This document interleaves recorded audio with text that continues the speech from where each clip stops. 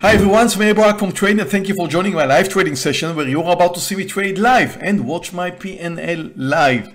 The market's about to start. S&P is going to start down 0.2%. Small gap down. Nasdaq is a little bit lower than that, 0.3% down.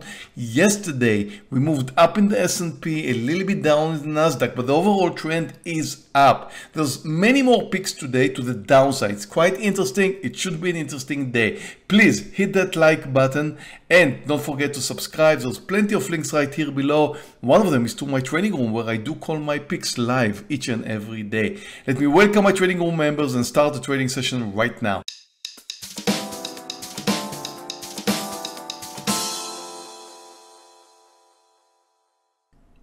Okay, traders, we're open.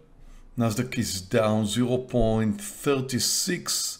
S&P is down almost 0.2. There's plenty of uh, picks to the downside today. PFE is down almost 5%, Daily is down 5%, JJ is down 1%, Tesla is down 2.7%. It should be an interesting day. PFE did not give us a chance to move short because it started with a gap down and just continued coming down. I'm going to short Tesla under 234 smaller size for the beginning of the trading session. I'm short.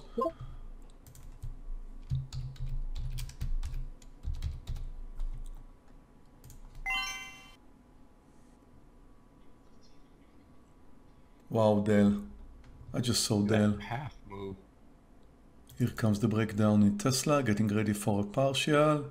Now, took my partial. Very nice. Very, very nice. Posting J&J for a long.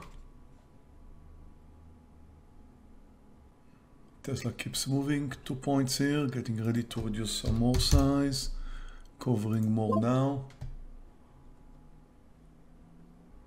I'm going to go long CRM over 254. Green candle in the S&P, which took us very close to the highs, but we haven't seen the market moving up to a new high.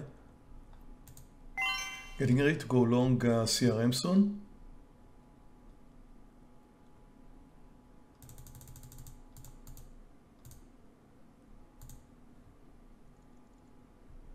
Two fifty four entry, one dollar thirty or so stop loss. I'm long CRM. I thought it moves. I thought for a second moved over 254. I tried to be, you know, thinking about Amazon. Okay, the S&P just moved over the highs. Okay, Amazon over 16430. It's very close. Watching Amazon. AMZN over 16430. I'm long.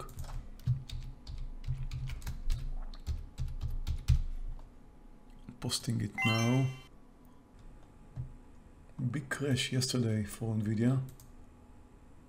We could go long if it returns, try to returns to the highs.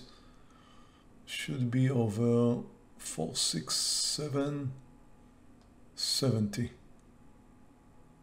I'm going to post Nvidia here.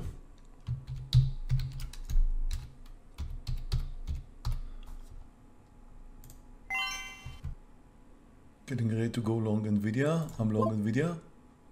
It just returned to the highs or close to it.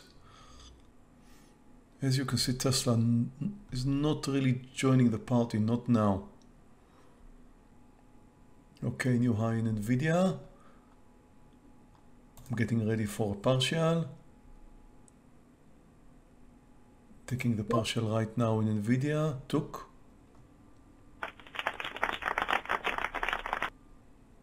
CRM just touched the highs. I want to see it moving over 255 and more. I want to see the buyers again over 255 for a partial. Yep. There we go. Come on, come on, come on, come on. Let's do it. Took, took my partial in CRM. Was hoping to get a little bit more, but uh, that's okay. Now I need to see Amazon moving over the highs. Look at CRM. Last 100 shares out. CRM. I am finished with the trade. Very nice trade. I've just come green again. I'll follow you here, Scott, and I will reduce some more size here in CRM. Reducing now. It's a two point mark. Because all green candles, it's too extended. I Oh, I'm moving out of Tesla. My last quantity in Tesla short is out.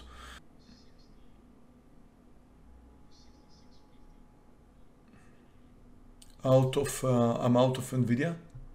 My last 100 shares are out, just spike down. Okay, traders, just 35 minutes into the trading session. As you can see, I'm up just over $3,000 with three green trades. Um, Amazon still unknown. I'm a little bit in green. And of course, uh, CRM is doing great.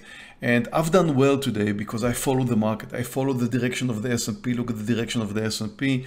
I bought some stocks that were moving up. I did short Tesla at the beginning of the trading session because it was moving down and because the market direction was also down.